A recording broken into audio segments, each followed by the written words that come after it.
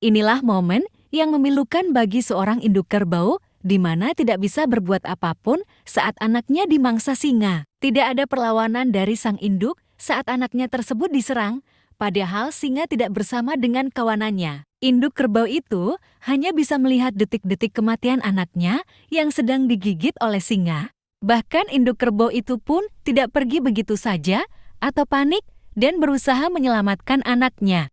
Selang beberapa waktu, induk kerbau itu pun pergi menjauh dari anaknya yang telah jadi santapan singa.